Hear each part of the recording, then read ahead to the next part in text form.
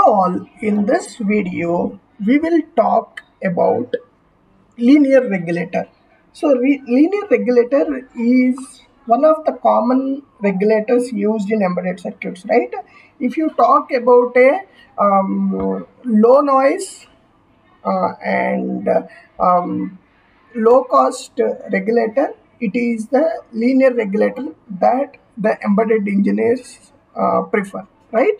So in this video, we will talk about the basic principle of linear regulator and uh, operation of uh, uh, the linear regulator and then we'll also uh, compare uh, uh, the output of the linear regulator um, that is drawn in LT Spice uh, with a data sheet values that are provided. So linear regulators are basically two types. One is fixed regulator and second one is adjustable regulator. That is based on how we control the output voltage. Okay, so fixed regulator means we don't have the output adjustable resistors, um, whereas fixed regulator, whereas adjustable regulator will have feedback resistors. So um, that's what we know about uh, the fixed and adjustable regulators, right? We'll see how um, that adjustable regulator can be used to get the output voltage, and then we'll simulate the circuit uh, as uh, we have drawn the basic linear regulator circuit in LT Spice, and we'll also observe the waveform. So before going further, okay, we will we will first see uh, the um, linear regulator um, data sheet. Okay, and this is a linear regulator data sheet. Uh, um, the part number is TPS 72XX. Okay, so this linear regulator uh, is uh, uh, basically a low dropout voltage regulator, which is uh, uh, used commonly by many engineers as well. So, if we go, the output of linear regulator, okay, uh, is dependent on uh, um, the reference voltage and then the feedback resistors. Okay, we'll we'll talk about the principle. Let us first uh, see what are all the factors that determine the um, output. So, if you see here, um, the, these are the output feedback resistors and uh, these resistors determine the output voltage as shown in this uh, um, table okay? Now let us go to the uh, lt spice first. Okay? So in lt spice we have a basic uh, linear regulator drawn where we are providing 5 volts input and then uh, input capacitor uh, of 47 microfarad and we have a series pass element.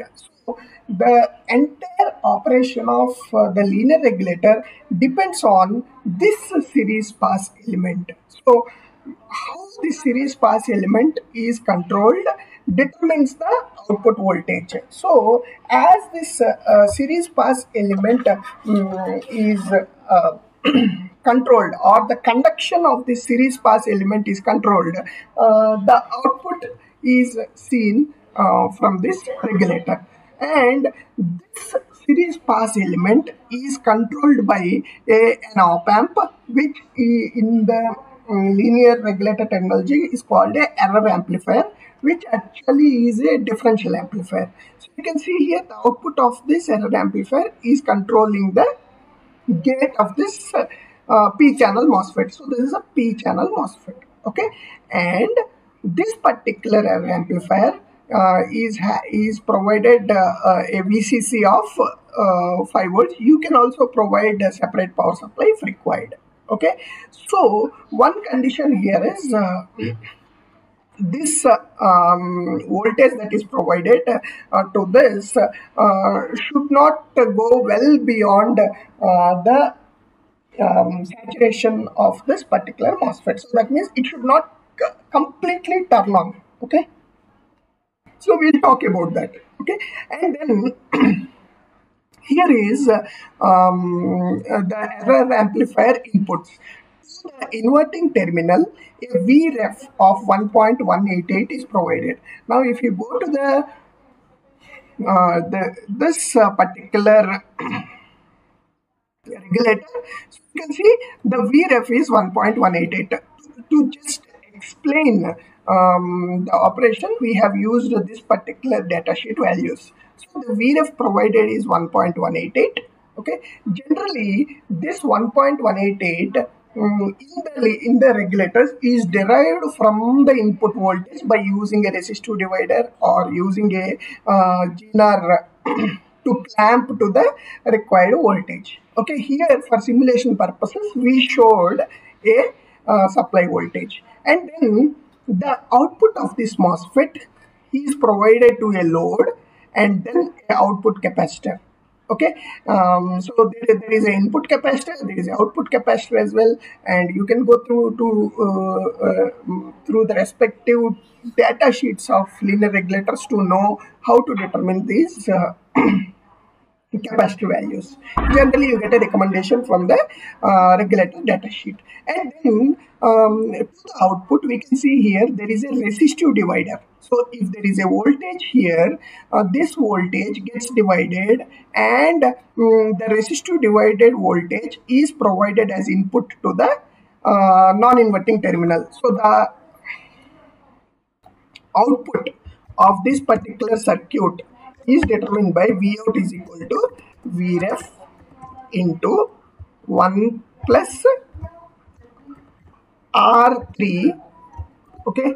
R3 by R4 so if you want to be precise we can put it 1.188 into uh, 1 plus R3 by R4 okay? So this is the output voltage of this particular regulator based on the resistor values, uh, the output is going to vary. Now, this feedback voltage, whatever is provided to the op amp, um, uh, the error amplifier takes the difference of uh, the inverting and non-inverting and then takes the uh, gets multiplied by the gain and it gets applied to uh, the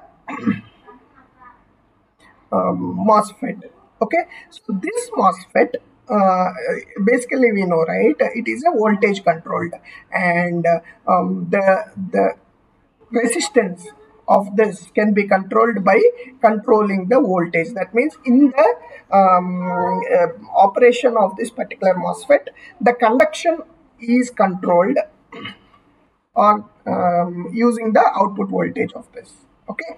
So uh, this is the basic structure. So there is a pass element, a series pass element, there is a output resistive division, uh, and there is error amplifier, and there is reference voltage. These are the basic ingredients of the uh, linear regulator. And then this 100 ohms is a load. Uh, so for example, if we have 4 volts here, okay, that means uh, this particular load that is uh, that can be provided to this is 40 milliamps okay? So we can vary the uh, load and see how the voltage is varying okay? Now if we go back to this particular uh, data sheet we can see um, for a given resistance of 191 ohms r1 is 191 that means the top resistor is 191 and the bottom resistor is 169 okay? So 169 so one of the design technique while uh, designing this linear regulators is keep the keep one of the resistor common okay basically uh, people do prefer um, the lower side resistor common and then they'll play around with the top resistor to generate different voltages. So as per this configuration with these resistors, we should see a voltage of 2.5. Now, let us try to simulate this circuit.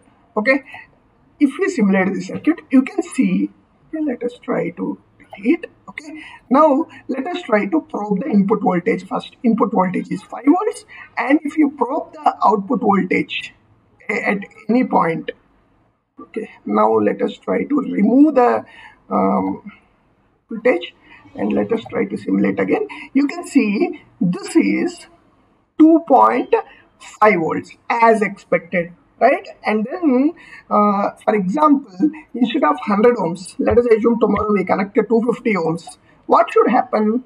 The current must increase but the voltage should remain constant right? This is nothing but which is talked in uh, load regulation. Load regulation is nothing but the the variation of output voltage with uh, variation uh, in the load values that are provided. So now instead of 100 ohms, we provided 250. Now what should happen?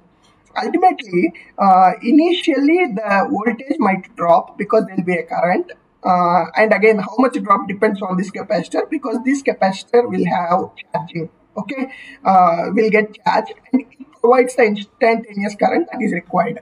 But um, there will definitely be a small dip here and the recovery of this dip depends on how fast this control loop works. So now uh, let us try to run this. Okay, even though it is 250 ohm, you can see we have still um, a voltage of approximately 2.5 volts.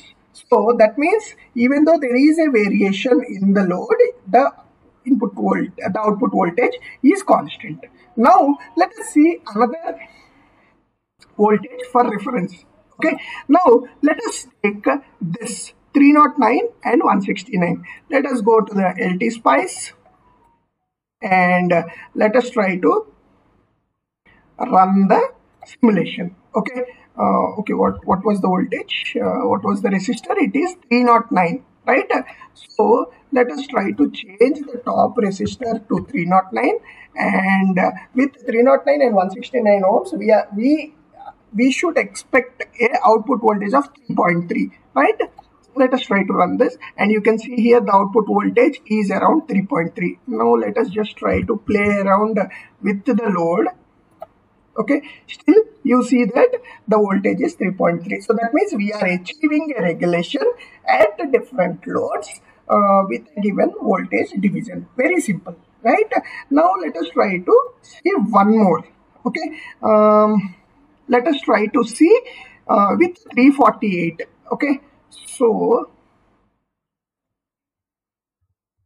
348 and if we try to run this you can see we are getting around 3.6 okay? See you got 3.6 now how close you can go uh, depends on the RDS on of this particular uh, MOSFET so now let us see if we can generate 4 volts this is a, a, a as we go closer to the uh, as we go uh, closer to the input voltage um, as output voltage is closer to the input voltage. This particular uh, linear regulator uh, configuration is called a low dropout regulator. That means there is a very low voltage dropout uh, between the input and output. Let us see if we can get 4 volts with a change of 402. Okay. So, 402, we should get around 4 volts.